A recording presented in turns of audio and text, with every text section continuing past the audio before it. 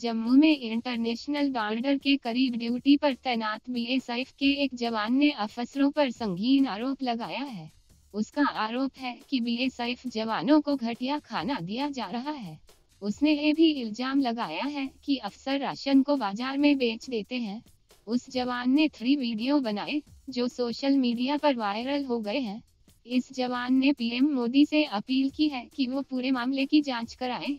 Social media पर viral इन video को अब तक करीब साढ़े पैर लाख लोग देख चुके हैं।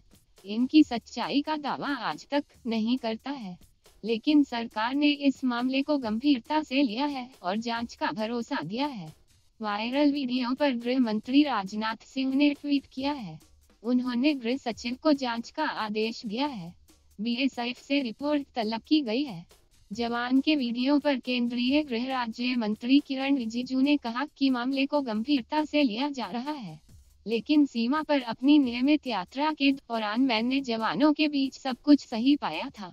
बीएसएफ जवान ने अपने अधिकारियों पर आरोप लगाते हुए कहा कि कई बार भूखा रखा जाता है। वीडियो में जवान बता रहा है कि वो किस हालात में काम करते हैं। जवान भूखे पेट रहते हैं। दाल में सिर्फ़ हल्दी नमक होता है।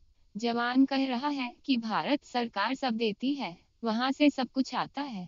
लेकिन अधिकारी कुछ नहीं देते। जवानों को नाश्ते में सिर्फ़ चाय और जले हुए पराठे मिलते हैं।